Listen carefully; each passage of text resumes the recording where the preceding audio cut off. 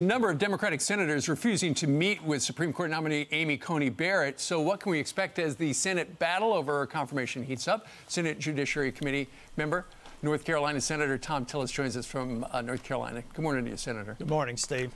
What does that say to you that they are so political they won't even sit down and talk to her for five minutes? Well, honestly, Steve, I think it's because they're going to make a circus when they get into the committee. And if they met with Judge Barrett for an hour, they would be they would find it very difficult to go after her the way I think that they're going to. This is an extraordinary uh, mother of seven children. It's going to be the first justice with school-age kids in the history of the United States. Incredible academic record. Uh, great work as a jurist. A number of people across the ideological spectrum who mm -hmm. support her clerked with her. So I don't think they want to meet her because if they know her beforehand, it's going to be a lot more difficult to pull off the theater I expect to see on October the 12th. Well, Senator, you know that what the Democrats are doing, they're saying that if she is confirmed, she will pretty much single handedly kill off the Affordable Care Act and Roe v. Wade.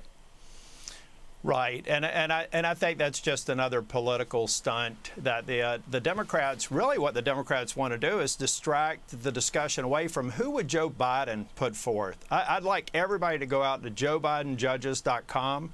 We've done the homework. We knew who were on some of Obama's and uh, Biden's short list. You should go to JoeBidenJudges.com and take a look at many people that are likely to put forward, and Joe Biden refuses to even publish a list. He won't publish a list, and he won't. Uh, uh, neither he nor Kamala Harris will talk about whether or not they would pack the courts, which well, a majority of Americans say we like. We like the number nine. We don't want to see 17. Well, Steve, AOC and Chuck Schumer were on stage last week saying they wanted to do just that. And I think my opponent, Cal Cunningham, will go up there. They'll vote for the nuclear option on the legislative filibuster, and they could expand the Supreme Court by as many as four.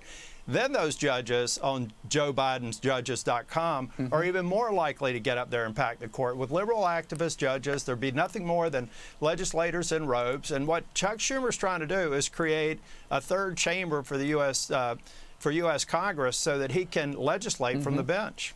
Senator, you just mentioned your opponent, Cal Cunningham. We did invite him on the program. Uh, we have not heard back from him. But how would will this confirmation of Amy Coney Barrett impact your race there in North Carolina?